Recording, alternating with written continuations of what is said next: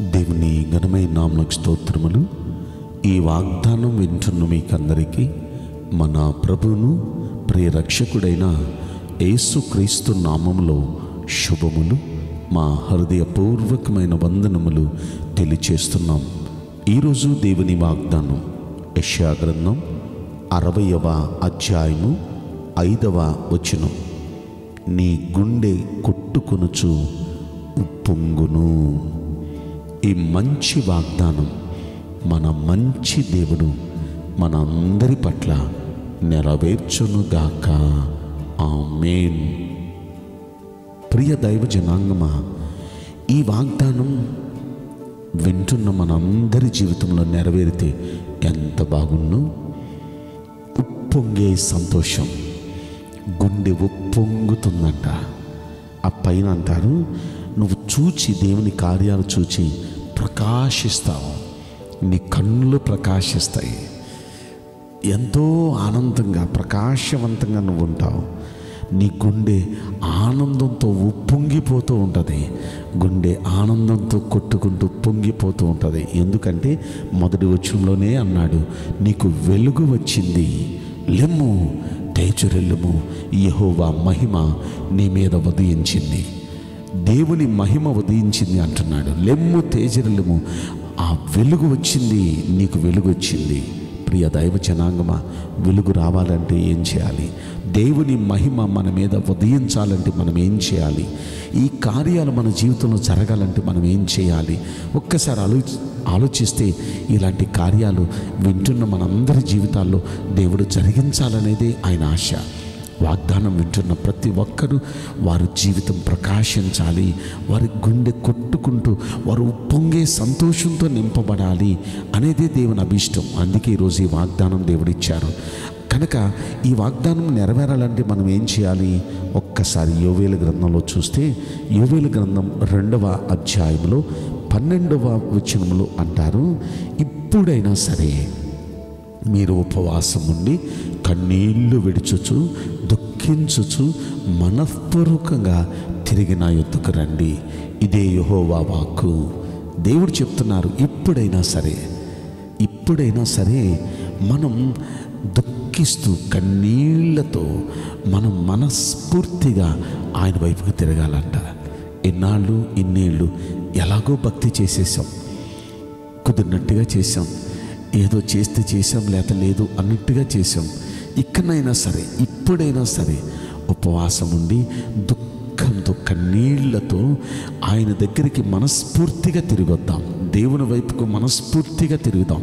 ఎప్పుడైతే మనం మనస్ఫూర్తిగా దేవుని వైపు తిరుగుతామో మన దేవుడైన యహోవా ఎలాంటి వాడంటే కరుణా వాత్సల్యములు కలిగిన వాడు ఆయన శాంతమూర్తి ఆయన అత్యంత కృప కలిగిన వాడు ఆయన నిజంగా ఆయన కృప ఆయన కనికరం మనకు అనుగ్రహిస్తారు.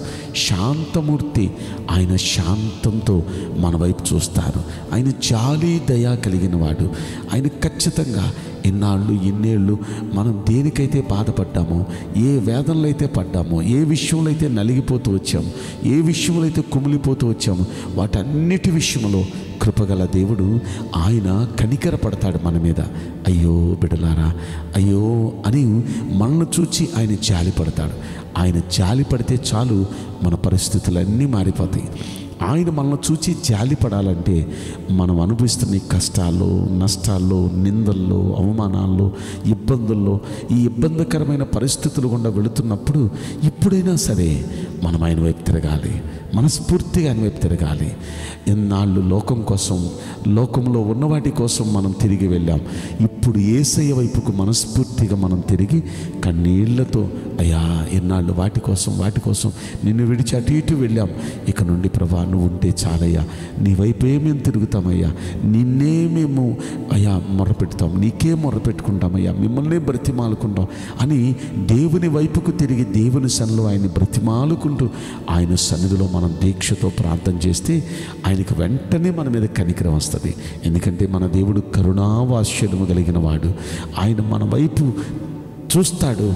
ఆయన వెంటనే గొప్ప కార్యాలు చేయటం ప్రారంభిస్తాడు. ఇక్కడ మనం చూస్తే ఈ యోవేల గ్రంథం రెండవ అధ్యాయంలో ఇరవయవ ఇరవై ఒకటో వచ్చిన మనం చూస్తే అక్కడ అంటాడు సంతోషించకి గంతులు వేయండి. యహోవా గొప్ప కార్యాలు చేశారు. యెహోవా గొప్ప కార్యాలు చేయబోతున్నాను ఎందుకంటే ఎప్పుడు చేస్తారు గొప్ప కార్యాలు అంటే ఇదిగో అలా మనం ఆయన వైపుకు మనస్ఫూర్తిగా తిరిగితే గొప్ప కార్యాలు మాత్రమే కాదు.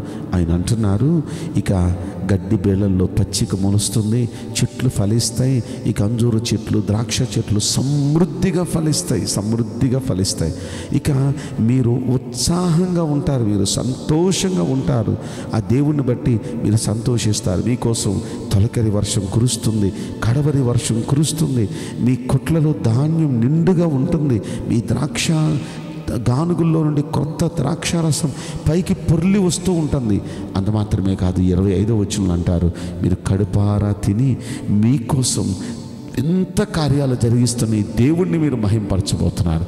కడుపారా తిని తృప్తిగా ఉండబోతున్నారు. ప్రియ దైవ జనాంగమ ఇలాంటి వింత కార్యాలు ఇలాంటి గొప్ప కార్యాలు మన జీవితంలో జరిగించి ఇలాంటి ఫలభరితమైన కార్యాలు జీవితంలో జరిగించి ఉప్పొంగే సంతోషంతో గంతులు వేసేటట్టుగా చేయబోతున్నారు దేవుడు మన జీవితంలో. అలా చేయాలంటే మనం కన్నీళ్ళతో ఆయన వైపుకు మనస్ఫూర్తిగా తిరిగి ఉపవాసముతో కన్నీళ్ళతో మనం ప్రార్థన చేస్తే ప్రియ దైవ జనాంగమ కన్నీళ్ళు విడుస్తూ విత్తువారు సంతోష గానంతో పనులు మోస్తారు అని మనం చదువుకున్నాం కదా. కనుక కన్నీళ్ళతో మనం ప్రార్థన చేద్దాం. కన్నీళ్ళతో ఆయన వైపుకు మనం తిరుగుదాం. మన ప్రతి తప్పిదాన్ని ప్రభు ఒప్పు- ప్రభు దగ్గర ఒప్పుకొని సరి చేసుకుందాం. ఆయనకు మనం ఇష్టలుగా బ్రతుకుదాం. ఖచ్చితంగా మన దేవుడు మన మీద కరుణ చూపిస్తారు పరిస్థితులన్నీ మారుస్తారు. గంతులు వేస్తూ గుండెలు కొట్టుకొని సంతోషించేటట్టుగా మనం మనం ఉండేటట్టుగా దేవుడు అలా చేయబోతున్నాడు. అలా వింటున్న ప్రతి ఒక్కరి వెనుకల్లో మంచి దేవుడు ఈ వాగ్దానం నెరవేర్చునుగాక. ఆ మేన్ నేను మీకోసం ప్రార్థన చేయబోతున్నాను. పరిశుద్ధుడా ప్రేమగలేశ్వరాజా మీ పరిశుద్ధ బంగారు పవిత్రమైన నామునకు నిండు మనసుతో కోట్ల కొలదిగా స్థుతులు స్తోత్రములు వందనాలు చెల్లిస్తున్నాం. ఈ వాగ్దానం వింటున్న ప్రియుల జీవితంలో దయచేసి ఈ వాగ్దానం నెరవేర్చి కృప చూపించండి.